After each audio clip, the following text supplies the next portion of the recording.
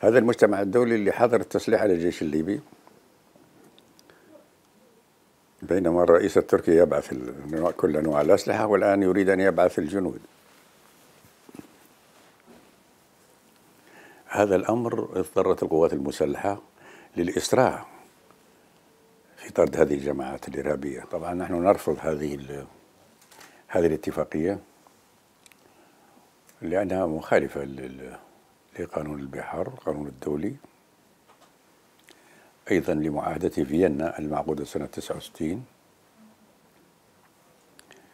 التي تبيح لنا طلبة مطالبة إبطال هذه المعاهدة إذا تعارضت مع قاعدة جوهرية في القانون المحلي.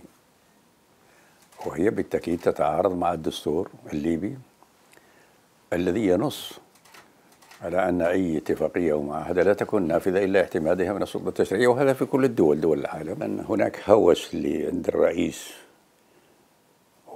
وجنون العظمة أن يريد أمجاد الإمبراطورية العثمانية للسيطرة على العالم العربي والعالم بأسره الجانب آخر يمكن الإخوان المسلمين